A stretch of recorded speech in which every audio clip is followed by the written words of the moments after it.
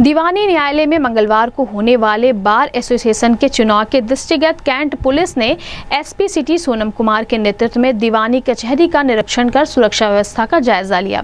जिसके संबंध में एसपी सिटी सोनम कुमार ने बताया कि दीवानी न्यायालय में मंगलवार को बार एसोसिएशन का चुनाव है, जिनमें 10 पदों के पदाधिकारी भाग लेंगे और काउंटिंग भी कल ही हो जाएगा। जिसको देखते हुए जिला जज के साथ चुनाव को सकुशल संपन्न कराने के लिए बात की गई है।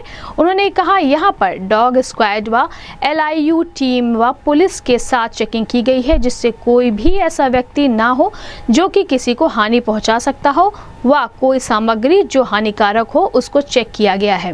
उन्होंने कहा, चुनाव के लिए तीन मतदान केंद्र व छह बूथ बनाए गए हैं, जिसके लिए सभी गेटों पर अलग अलग ड्यूटी लगाई जाएगी, जिसकी मॉनिटरिंग ड्रोन कैमरे से की जाएगी। इस अवसर पर सीओ कैंट श्यामदेव बेन कैंट थाना प्रभारी शशिभूषण राय सहित अन्य पुलिसकर्मी मौजूद रहे। इस संबंध में गोरखपुर न्यूज़ से बात करते हुए एसपी सिटी सोनम कुमार ने कहा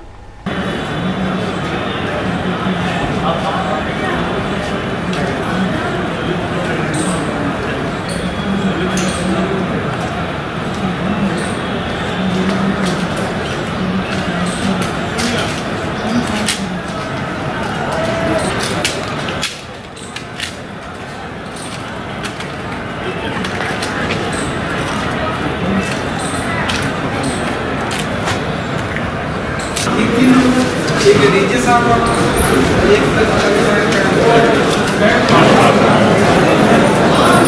आ गया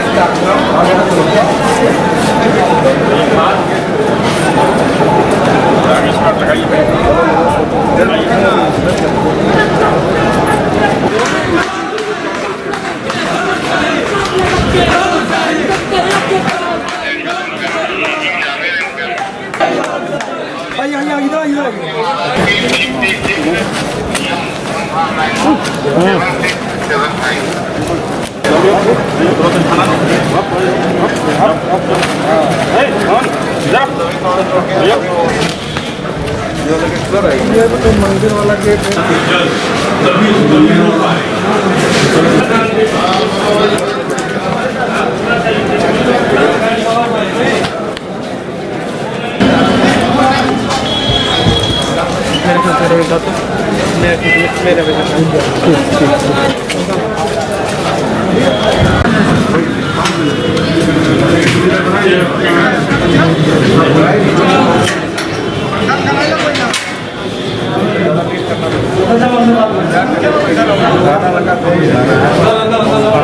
Gracias.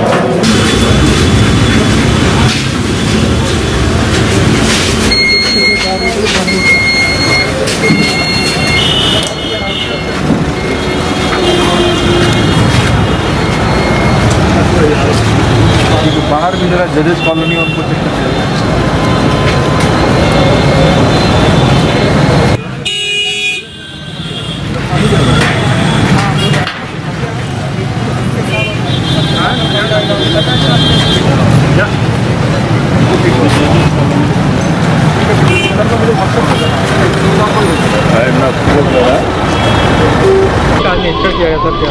देखिए कल यहाँ पे बाहर के चुनाव में लगभग दस पदों के चुनाव होंगे उसमें बार के जो महामंत्री हैं और बार के जो अध्यक्ष हैं, उनके इन पदों के भी चुनाव है और उनकी काउंटिंग भी कल ही हो जाएगी। उसके लिए हम लोगों ने यहाँ पे आज मीटिंग की थी एडीजे सिक्योरिटी के साथ। फिर डिस्ट्रिक्ट जज साहब के सामने हम लोग भ्रमण करने के बाद हम लोगों ने अपनी सारी बातें रखी।